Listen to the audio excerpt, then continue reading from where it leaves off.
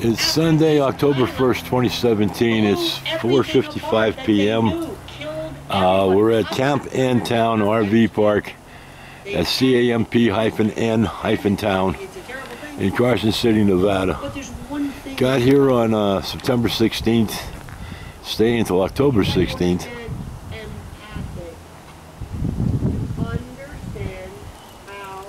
And I want to get a, I don't want to go into the sun here. Okay, so we're looking sort of south there. Reno is uh, 30 miles northwest of us.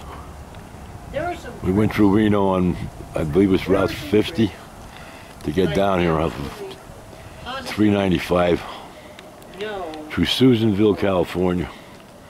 But the trees are changing colors. And I wanted to make sure I got that on video. And also they're getting blown away. So before we leave here, these trees will be bare. whether it's just a business thing, whatever it is.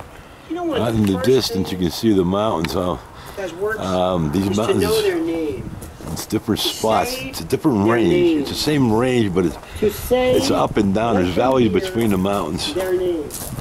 Let them hear Just like back in uh, Wyoming Valley. Valleys between the mountains. One mountain up here gets up to 7,500 feet above sea level. Uh, we see snow on it for three, four, three days. It melted off the fourth.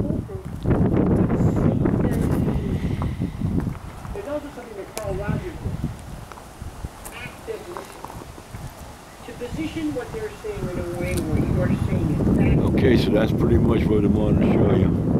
These are Sierra Nevada mountains. And out there is that mountain range. And I'm going to go away, just keep it zoomed as we go here. We're heading south-ish. That mountain range is part of the Sierra Nevadas, as that one is. It takes a curve. And then this guy out here, I can't get a good picture of this. This this mountain out there is amazing when the sun's in the right spot. All right, that's it for this one. How you doing, man? Zoom out.